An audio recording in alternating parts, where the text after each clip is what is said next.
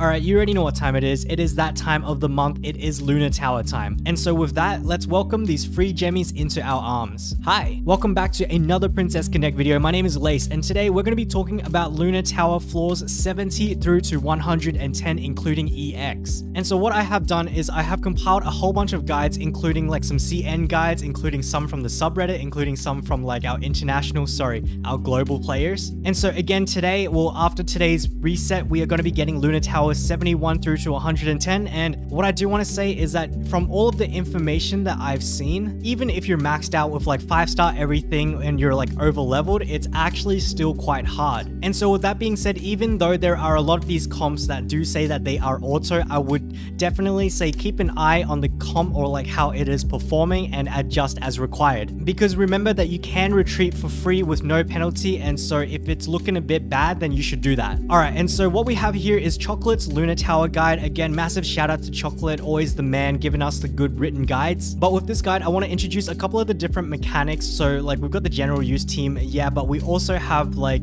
uh, I want to show you guys these guys here. And the reason I want to show you this is because a lot of the time we're going to start actually using two teams to clear bosses. And it's just really unfortunate because it gives us a little bit less options as we climb the tower. However, guys, do remember that we do get full revives. So if we like mess up or whatever, or if we can't seem to clear up to 110 in one go. Then after the reset, after 24 hours has elapsed, we can go ahead and revive our entire team. And so again, I'm just warning you guys, even if you are maxed out, even if you're like a top one player or top 10 or whatever, there is absolutely no shame in doing this over two or three or four days. And so yeah, I just kind of wanted to like set that expectation in case you guys are like, oh man, why are none of these guides working? This time it's just a lot tougher than last time. That's that's really it. All right, and so with that being said, let me go through these CN guides real quick. So it is essentially a whole bunch of playlists that I have compiled. So at the time of 110 release, CN's level cap was actually only 107 despite having like the Rei UE as well as the Kanna and all of that. And so why this is important is because like some of the timings and some of like the stats, we might find like things easier or harder. We're going to have like four to five levels on top of them. However, they're going to have the UE and a completely busted character on top of us. And so my warning against all of these playlists, which I will of course drop into the description below. It is that if you do see Array, it probably has UE and so it's probably not applicable. And if you do see Kanna, which is the redhead over here, well, we can't use that comp because it straight up just doesn't exist for us. All right, and so with that being said, that's pretty much the disclaimer for all of these Chinese comps. Uh, sometimes we're going to find some of those Kanna comps. However, most of the time, it's going to be quite a similar like composition as the other ones from 1 through to 70. So I'm talking like a tank, you got AoE heals, like so like your Akinos. So compositions that look kind of like this, right? You got your Akino, AoE heal, you got your Nozomi at some point. Nozomi, Nozomi up here, Nozomi for the AoE heal. You notice that everyone, will rather four of the five units are frontal units. And then you can most definitely tech in your Akino instead of the Summer Kokoro for more AoE heal. Again, for the most part, this is going to work. However, let me just wrap up these CN teams before we go on. So guys, just a couple of key callouts. We do have a couple of like standard of the physical teams and like some of the magical teams. Just try to remember to not sacrifice any teams until you get to like the boss 80 or boss 90 or boss 100 floors. And so for example, I've clicked this 81 over here and you'll see that we are going to actually sack off this team to get rid of a bunch of the ads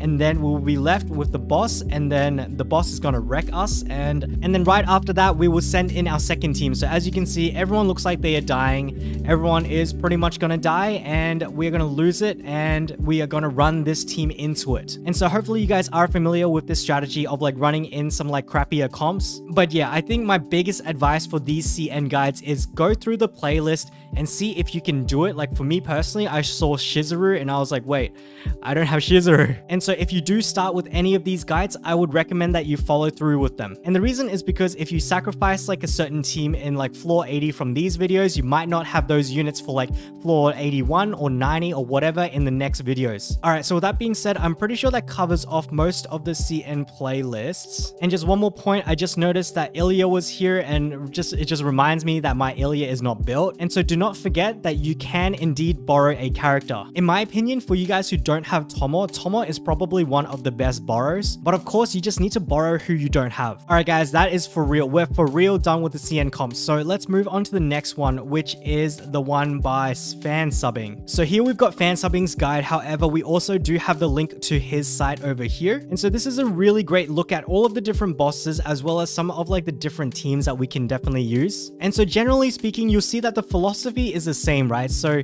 he's saying uh, it is technically possible to do it in a single hit with the above team, but you're better off going for a two party clear. Again, if you guys opt to use fan subbing's approach, then follow it to the T or else you're going to be like missing a few units. Otherwise, it's completely okay to kind of like sack it off and get as far as you can again in one day and then just revive for the next day. However, the nice thing about fan subbing is that fan subbing has provided all of the boss details. And so this is actually really nice because it kind of tells you like what kind of tank you should use. And what I mean by that is that, for example, the 90th floor, you have Shadow Ilya. And guys, we already know that Ilya is going to be such a headache, especially for our tanks up the front. And so what that means is that we should 100% be running a Kuka. And if you don't have a Kuka available, it's probably going to be a Jun. On top of that, Ilya attacks like the front to the midline. So you're probably not going to be using like some of your Makotos or Karis and stuff like that. And so therefore, if I scroll down to the 90th floor, let's see what he's got. And that is essentially exactly what I'm talking about. You've got nobody in the front line. You've got a little bit of heals and you've got the Kuka in the front taking that Ilya. And so if you guys do want to be a little bit innovative, a little bit creative, you guys can have a look at the different bosses or like the different units that appear on the boss floors and then plan accordingly because like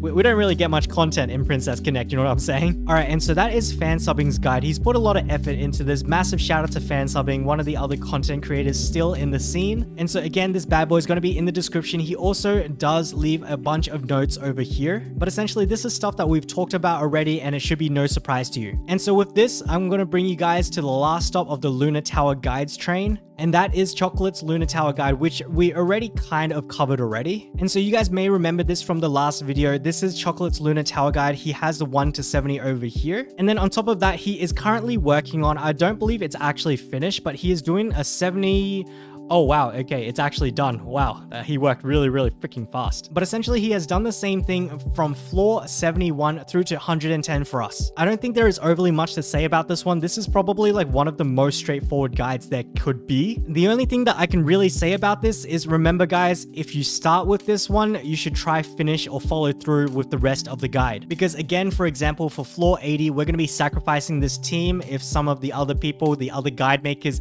actually use units from like this team, then you are going to be a little bit stuffed. But like, again, it should be okay with the revives. And so that essentially wraps up the Lunar Tower for this month. Hopefully it will be enough to get you guys through it. So again, our three options are fan subbings guides, we've got chocolates guides, and we've got a whole bunch of CN playlists. And so with that being said, one last shout out to Chocolate, to fan subbing, and all the CN bros for all the hard work that they give to actually put together these guides for us. And so with that, I want to leave you guys with a secret message, and that is Akino! Because it is finally time for Akino to shine. Everyone just like took a big dump on Akino, but finally Luna Tower AoE healing, there is nobody better than Akino. And so if you guys could drop that secret message Akino down into the comments below, I would really appreciate it because it means you've watched up until the end of the video and so thank you guys so much. But aside from that, please consider a like, a sub, a comment, a follow, and if you would like to support the channel, we do have like a membership thing and some affiliate links down in the description below. But otherwise, as old mate Akino once said to me, all good things must come to an end. And so thank you guys so much for watching and I'll catch you guys in the next video.